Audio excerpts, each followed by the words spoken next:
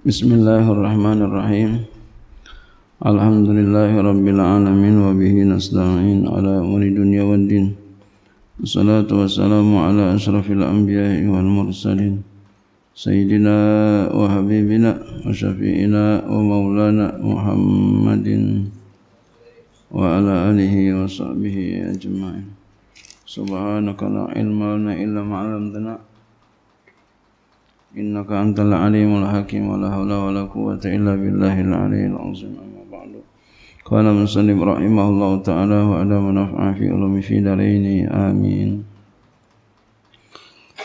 ولو رأى مصل نحو حريك خفف walau ra'a jikalau melihat ya, kalau ada fa'ilnya nggak usah dibilang iya ya jikalau melihat Siapa yang lihat nih fa'ilnya musallin ya. Musallin fa'il dari ro'a dan jikalau melihat oleh orang yang sholat ya. musallin ya jikalau melihat ia orang yang sholat ya. jikalau melihat oleh orang yang sholat jikalau melihat oleh orang yang sholat orang lagi sholat ngelihat ngelihat apa nih lagi sholat nahwa harikin seumpama uh, ada yang kebakaran. Ada yang sedang lagi kebakaran. Khaffafa. Maka dia meringankan sholatnya. Jadi jangan masih sembahyang ya lama ringankan. Ini namanya Islam tasamu sangat toleransi jadi Islam nggak usah diajarin toleransi, udah toleransi dia.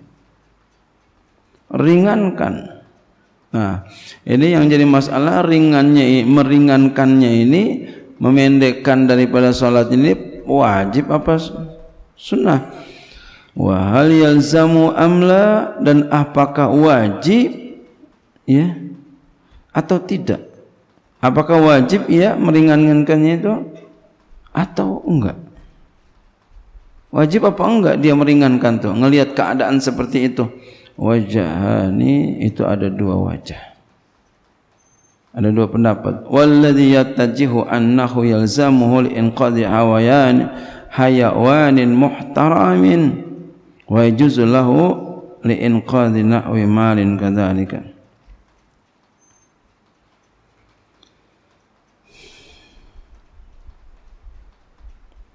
Waladzi yataju dan yang kuat annahu yaitu bahwasannya yalzamu wajib. Ia akan meringankannya. Akan dia itu maksudnya meringankan. Wajib dia ringanin ngelihat ada orang kebakaran wajib sholatnya di iya ringankan. Artinya enggak panjang-panjang apa yang dibaca. Enggak lama-lama. Kenapa? Li'inqadhi hayawanin muhtaramin karena untuk menyelamatkan hewan yang dihormatkan. Hewan aja masih kita berhenti. Bagaimana kalau ya keselamatan kita, nyawa kita. Nyawa kita bagaimana? Islam tasamuh sekali. Jadi nggak usah khawatir. Orang punya ilmu gampang aja disuruh stop. Lu stop ada ada ininya ada ilatnya. Mati bukan hanya satu-satunya ilat sakit juga termasuk ilat. Kenapa? Siapa yang mau sakit? Ada di sini yang mau sakit? Sakitnya biar saya pengen sakit biar lama biar panjang. Enggak ada. Bahkan sebentar aja oh enggak maunya apa? Sehat, panjang umur, banyak duit, gitu ya. Kebun lebar, rumah bagus, mobil banyak, ini maunya begitu. Ya. Pasangan cakep gitu ya.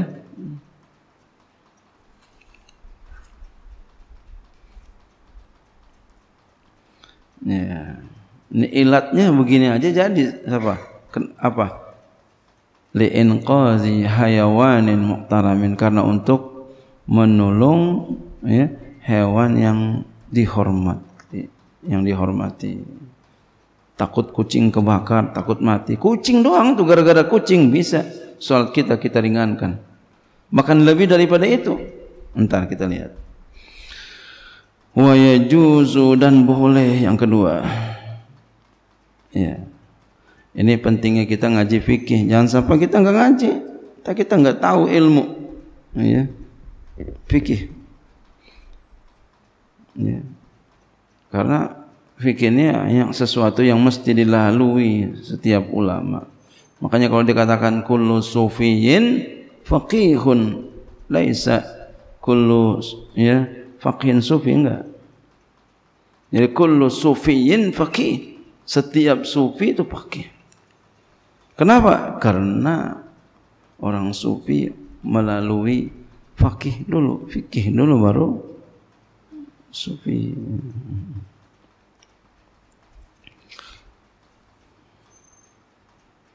Jadi kalau dia katakan faqih, dia katakan sufi al-faqih. Wa yajuzu dan boleh lahu bagi orang itu, orang yang salat itu liin qazi na'wi malin kadzalika karena untuk menyelamatkan. Kalau tadi kan menyelamatkan tadi liin qazi hayawanin, hayawanin untuk menyelamatkan hewan ini liin qadhi ayat nahwi malin kadzalika untuk menyelamatkan harta seumpama harta ya untuk menyelamatkan harta kadzalika seperti demikian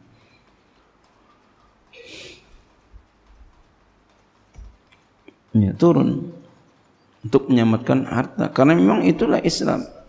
Ada hifzuddin hifzun nafs. Ya.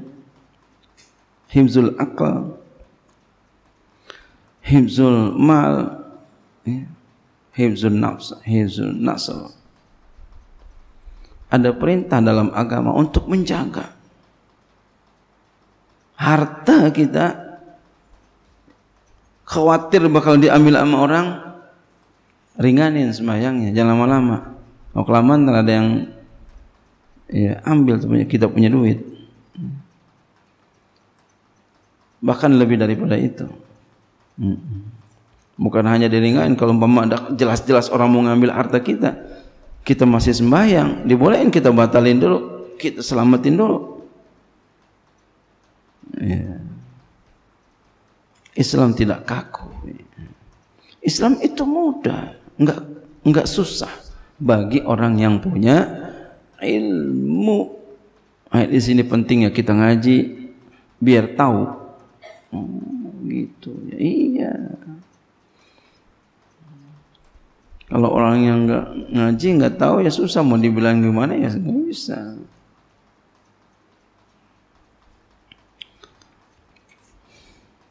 Wa man hayawanan siapa saja yang melihat ia akan hewan, dilihat hewan muhtaraman yang dihormatin, dilihat ada hewan yang dihormatin. Ya, kucing umpama, kebo umpama, kambing umpama, yaksiduhu zalimun ada orang zalim yang bermaksud kepadanya. Mau zalimin tuh mau dimatiin tuh kucing umpama. Dia mau siksa tuh kucing kambing kebo dan lain sebagainya. Atau ya geriku atau tuh hewan yang dihormatin mau ya tenggelam. Mau tenggelam dia mau nyemplung.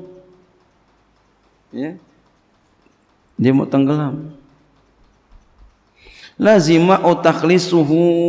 Wajib orang itu menyelamatkan itu binatang yang dihormati. Wajib. Kucing umpama pengen nyemplung ya ke sumur kambing kebo kita lagi sembahyang ya wajib selamatin itu dulu sembahyangnya boleh diringankan. Masya Allah. Wa ta'khirus salatin atau wa ta'khirus salatin dan mentakhirkan salat. Belum salat, ada hewan yang dihormatin akan kena, takut akan kena bahaya. Kita boleh mentakhirkan salat. Entar dulu sembahyangnya selamatin ini dulu hewan ini.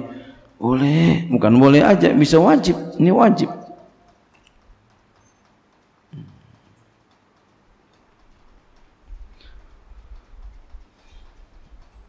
Kayaknya yang cakep yang mana? Sembahyang terus ya. Kayaknya cakep tuh. semua yang terus, jangan peduli, nggak usah, hanya Allah. Eh, Islam gak kayak begitu. Rahmatan lil alamin. Maju, maju tak ya apa? Jangan gentar, maju terus. Pantang mundur. Jangan takut mati. Eh, ini sama ini lebih ringanan lagi ini. Ada kucing, ya kucing segala kucing berjemati. Eh, enggak begitu. Islam itu, masya Allah. Sayang, Islam enggak begitu. Bagaimana kalau nyawa kita? Bagaimana kalau diri kita manusia? Lakot karumna bani Adam. Ya. Sungguh sangat kami muliakan tuh manusia. Insyaallah. Kucing kan termasuk dihormatin. Kucing. Wajib kita selamatin itu kucing. Sholat boleh dibatalin dulu. Bagaimana kalau manusia?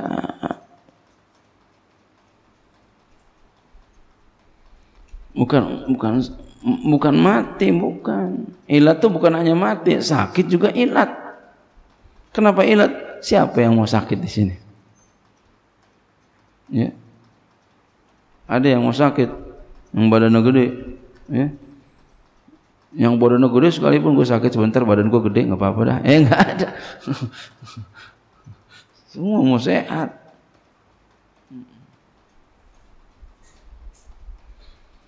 Au ibtaluha in kana fiha atau membatalkan salat jika ada ia di dalam salat. Batalin. Masya Allah. Kalau memang enggak bisa lagi jalan kecuali dengan membatalkan, batalkan. Masya Allah. Alangkah indahnya ini agama kita Islam. Jadi Islam itu berarti apa? Rahmatan lil alamin. Enggak kaku, mudah. Au malan jazala Atau harta, maka boleh baginya bagi orang yang sholat ya, boleh bagi orang yang sholat zalika demikian itu. Boleh dia. Apa? Tadi menyelamatkannya harta dulu. Selamatin harta. Atau menunda sholatnya atau membatalkan sholatnya ya. Jadi boleh tuh. Kalau dia dalam sholat ya. Diselamatin dulu tuh. Ditakhirkan sholat. Boleh terang sholat, sholat belakangan. Tolong ini dulu. Atau bahkan membatalkan sholat. Wa kuriya Allah tarku dan dimakruhkan bagi orang yang sholat itu tarkuhu dimakruhkan meninggalkannya Ya. Meninggalkan apa? Meninggalkan menolong. Meninggalkan ya, mentakhirkan sholat. Meninggalkan membatalkan sholat. Bahkan bukan hanya masalah boleh ya, makruh kalau kagak dikerjain. Jadi kebalikannya makruh.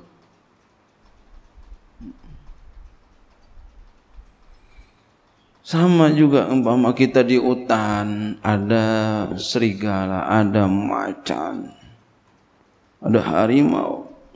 Kata penjaga yang berkuasa di situ bilang, kamu jangan masuk. Kenapa kamu nanti akan diterkam? Enggak, Bismillah, Allahu Akbar. masuk, mati, diterkam, bunuh diri apa syahid? Bunuh diri. Kan kayaknya cakep Allahu Akbar, pantang, mati, gila ta'ala. Bukan ada ta'ala ente. Bodoh itu namanya bunuh diri biar paham nih. Hmm. Islam itu iya. akal juga cerdas Islam, biar cerdas, biar cerdas. Islam agama rasional. Hmm. Walaupun nanti ada yang beberapa pakai iman ya.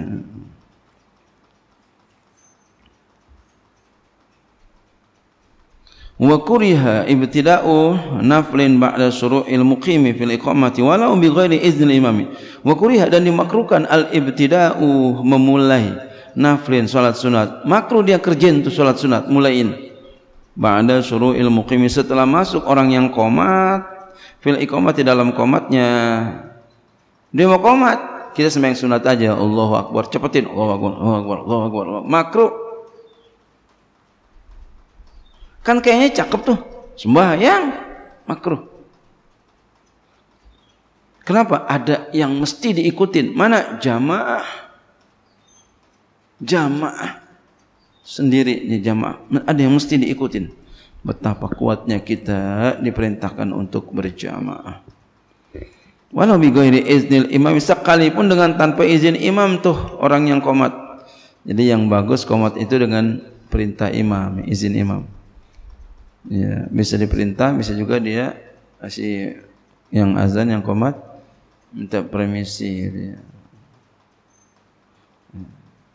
yang bagus itu disuruh dulu sama imam komat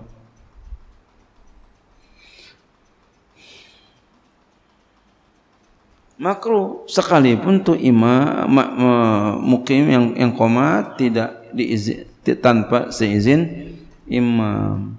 Fan kana fihi atammahu. Maka jika ada ia orang yang salat fihi padanya ya. Dia berada padanya pada salatnya itu atammahu maka dia sempurnakan. Akan dia apa yang sedang dia berada padanya sempurnakan kalau memang dia lagi ada di situ. Dia sudah sembahyang duluan lalu orang komat. Ya sempurnain lah in lam yakhsha bi itmamihi fauta jama'atin. Jika dia tidak takut dengan sebab menyempurnakan sembahyang itu akan luput jamaah. Wa illa jika lo takut, jika lo enggak jika lo takut, qata'ahu maka dia putuskan salatnya. Demikian itu salatnya. Narban hal keadaannya sunat. Wa dakhala fiha dan dia masuk di dalam salat itu jamaah. Malam yarju jamaatnya tan ukhra semasa dia tidak mengharapkan jamaah yang lain. Jadi kalau mengharapkan jamaah yang lain apa kemarin hukumnya? Sunnah untuk menunggu. Ya. Begitu. Ya. Baik dia itu jamaah ya ataupun dia sholat sendiri. Dia jamaah datang rame-rame kemarin sudah tuh ya. Datang rame-rame ya Orang udah pada sembahyang. Ya Allah. Orang udah sembahyang. Jadi rame-rame. Orang udah sembahyang, udah di tengah-tengah umpama. Ya. Sebelum ruku umpama. Atau udah merapi tinggal satu rakaat. Dia tunggu dulu. Ya. Biar dia habis sabar. Biar dia habis, kita sembahyang rame-rame. Ataupun soal orang sholat sendiri. Ada orang datang satu orang sendiri, jamaah udah udah mau selesai, tapi dia punya harapan entar ada jamaah baru dia mengharapkan jamaah baru disuruh sabar menanti lebih baik ada jamaah baru ya dari salatnya dari awal bareng-bareng. Ini menandakan bahwasannya betapa tinggi nilai salat yang berjamaah. Ya makanya kita jangan sampai telat. Ya, jangan sampai telat. Berlomba berlomba untuk sholat berjamaah. Begitu ya. Jangan ketinggalan mulu jangan ya entar rezekinya ketinggalan. Orang-orang udah dapat banyak dia masih semetet aja. Semetet bukan dikit lagi semetet. Dikit banget ya. Semetet. Semetet adanya sedikit ya, ya. lagi sekutit. Bawaannya lagi. Jadi harus segera segera segera segera. Membayar wallahu a'lam bishawab. Wa